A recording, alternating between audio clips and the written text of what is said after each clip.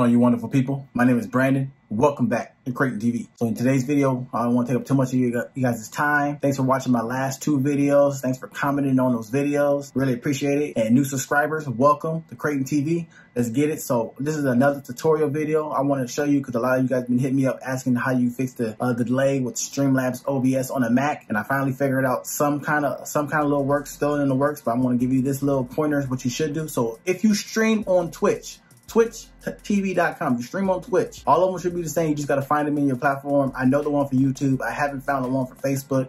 If there is any delay, if you stream on Facebook or Mixer, I haven't found that, but they should all be in your settings. So what you want to do, you stream on Twitch, this is what you want to do. You want to go to your internet, go to Twitch. First things first, you want to do this. So you want to go, go to your Twitch channel, make sure you're signed in, go to settings, go to channel and videos, and scroll right here where it says late, latency mode. Yours might be set to normal. Make sure you uh, on Twitch, they only have low, so enable it to low latency.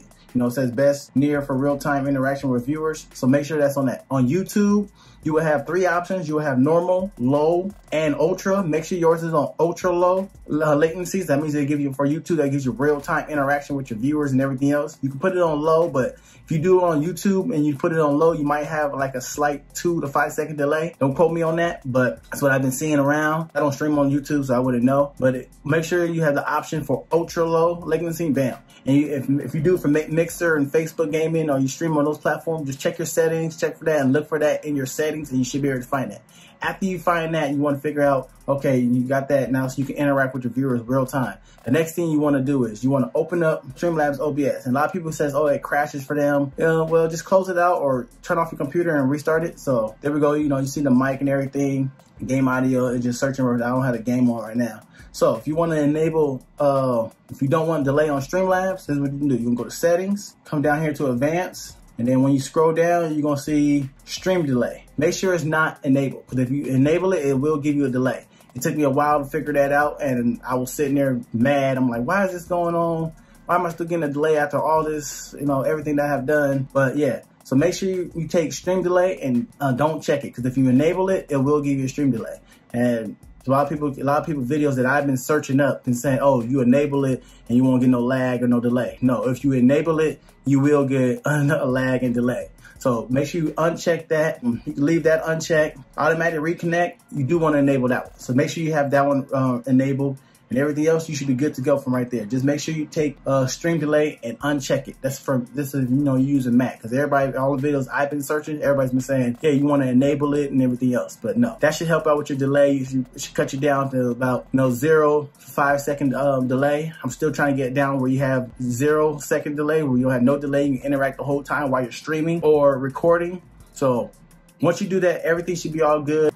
If you want to check your, if you have a webcam or whatever, because you know, face uh, whatever. If you have an iMac, MacBook, you know that webcam on there is also good too. So you can also use that. I just bought a separate webcam, but whatever your webcam is set up, go down, click where it is, go to filters, and make sure uh, if you do have a filter applied, Make sure you don't add no sync delay or nothing. Other than that, you should be good to go. And yeah, so that's the end of this video. I hope you guys did like, like this video, subscribe if you're new. New subscribers, welcome to the channel. And we're on our way to 700 subscribers. So hit that subscribe button, dog. Let's go. I got another video coming out uh, because you guys want to know how do you get the, the desktop audio to sync in and everything to pull up when you're playing the game. So just in case you want to hear the desktop audio, you know, playing music while you live streaming and your viewers want, you know, hear, hear some interaction with that. I do got another video coming up with that. So make sure you like this video, subscribe if you're new, come back to the channel because another tutorial will be how to get that video for you guys to get your desktop audio.